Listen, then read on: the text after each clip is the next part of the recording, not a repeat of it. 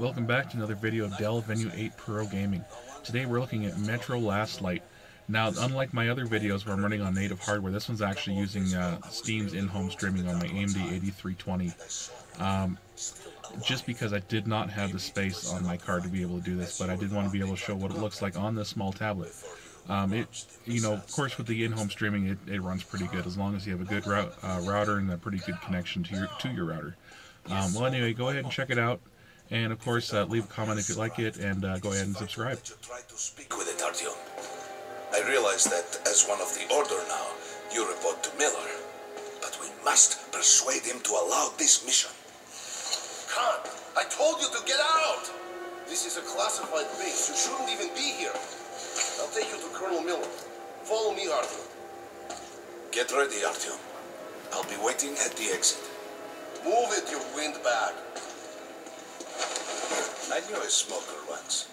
During the last year of his life, he had to eat, drink, and breathe through a tiny hole in his throat.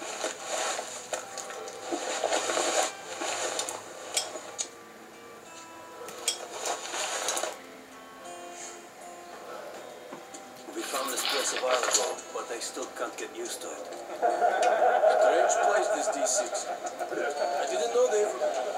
Привет, Артем. Artyom was one of the men from D6. They gave him a ranger's badge on the. You have five more of service. for last. Did you hear what happened to Romanov's group? Hello, Artyom. Welcome to the armory. I hear you're a ranger now, huh? We must get a drink sometime to celebrate. For now, let's get you equipped. So, first things first, you're going to need a gas mask. You can't make a step on the surface without a gas mask.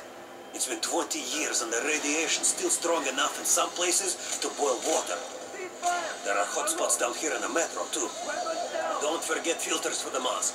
Sure, it looks cool enough even without these, but they definitely make it better for your health. Now, medkits. Well, what can I say? Anything you need for survival in a stylish orange case. Here's your advance salary for this month. Remember, your pay is in military grade rounds. Sure, you can use them as usual ammo for some hefty extra damage, but saving them to buy guns, attachments, regular ammo and equipment from merchants anywhere in the metro seems like a smarter move.